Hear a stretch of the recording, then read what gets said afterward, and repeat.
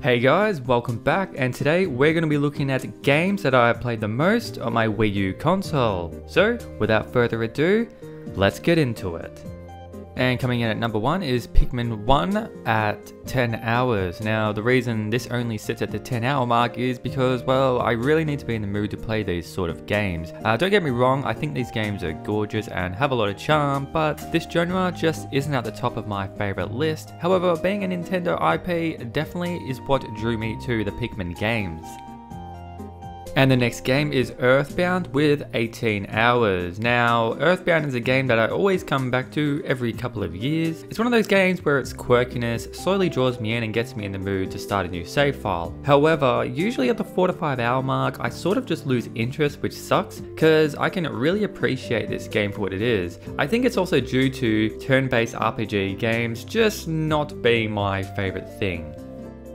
And this next game is the Metroid Prime Trilogy with only 32 hours. Now I'm shocked this game isn't higher on my list since this has three Metroid Prime games included. But I think the reason for that is I realized that I have actually not played Metroid Prime 2 or not very much of Metroid Prime 1. I have sunk probably the most hours into the third one with probably Metroid Prime 1 coming in second, pretty far. But I have always told myself that when I have nothing to play and plenty of spare time, I would sit down and play through the whole trilogy.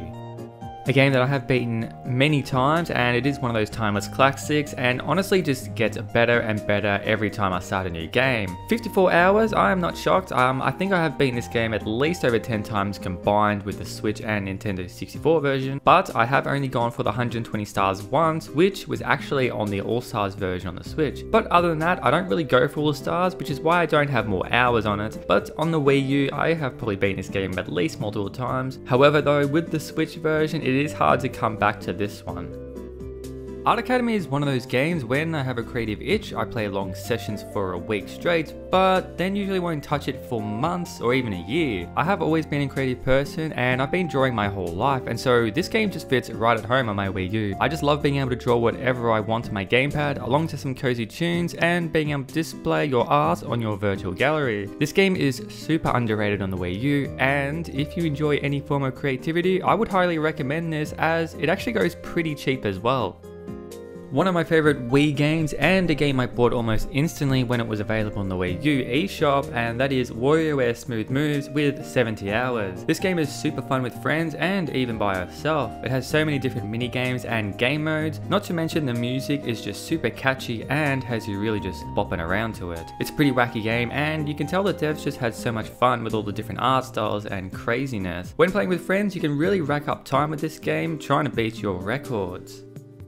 And the next game is ZombiU with 95 hours and this was actually a launch title for the Wii U and was actually the first game I ever bought for my Wii U console. I played the heck out of this game when I first got it. I would always see how long I could survive in this and try to beat the game without dying. Now there weren't a lot of Wii U launch titles that actually interested me so this tided me over until the next must buy Wii U game. But regardless, this is still a fantastic Wii U game that I still love coming back to today. With the reputation that Ubisoft has, don't let that deter you as this is definitely a must play for any survival horror fan. Majora's Mask is definitely one of my favorite Zelda games and even one of my favorite games of all time. Now, a lot of people didn't actually enjoy the time concept, but I personally never really had a problem with it. It never really derailed my enjoyment for the game, and to me, it actually made the town and overall game feel alive and bustling, with characters doing stuff and being at places at certain times. It really immersed me into the game's world, and I just had a ton of fun just doing all the side quests. It's probably why I have so many hours on this game. I mean, the game is quite short, with only 4 dungeons, so they just filled this game with heaps of content.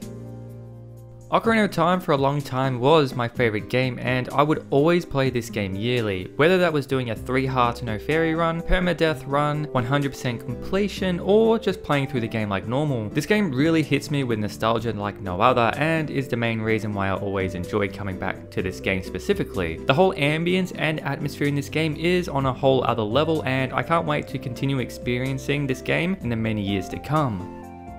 Coming in at number one is my favorite Wii U game of all time, and that is Monster Hunter 3 Ultimate. I did play this game on the Wii and 3DS, but the Wii U version was the first game in the series where I actually experienced online play, and boy, it really added a thick layer on top. I just thought the idea of hunting with three other players was just the coolest thing ever. It was just a ton of fun helping each other out. Some of the most fun I've had with Monster Hunter games was just having a lobby of four people and we would just rotate quests for hours upon hours. I spent a long time helping other hunters with quests, even with quests I didn't even need to do because I just enjoyed it so much. I sunk some serious hours into this game. These days I don't play as hard as I used to, but when I do come back to play, I do get pretty heavily invested for a month at a time. Anyway guys, those are the games that I played the most on my Wii U console. Let me know what games you guys have played the most on your Wii U as I would love to hear it. If you enjoyed this video, please leave a like as it really helps me out. And so with that guys, I will catch you next time.